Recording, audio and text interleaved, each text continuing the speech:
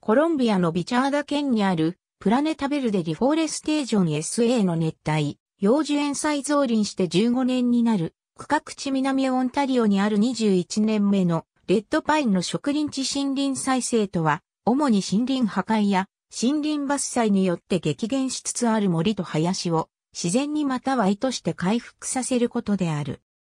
森林再生は空気中の汚染物とゴミを吸収させ、自然の生息地、生態系を立て直し、大気中の二酸化炭素の生物学的隔離により、地球温暖化を緩和させることで、森林減少の影響を打ち消して正すために、そして資源用に、とりわけ材木を得たり、非木材林産物を収穫したりして、人の生活の質を高ために行われる。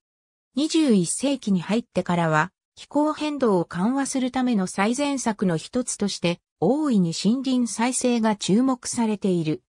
これに向けて、国際社会は持続可能な開発目標の15に合意しており、あらゆる森林の持続可能な管理を促し、森林減少を終わらせ、荒廃した森林を復元させ、植林と再造林を増やすとしている。